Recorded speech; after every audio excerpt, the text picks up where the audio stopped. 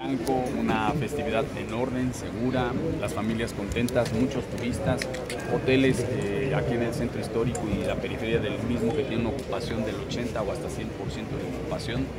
Y la verdad, perfecto orden, coordinación también entre los tres órdenes de gobierno, mucha colaboración, las cosas a tiempo. Y la verdad, quienes se merecen un aplauso son todos los poblanos y todas las poblanas, todos los asistentes que estuvieron eh, disfrutando de estas fiestas patrias decomiso de...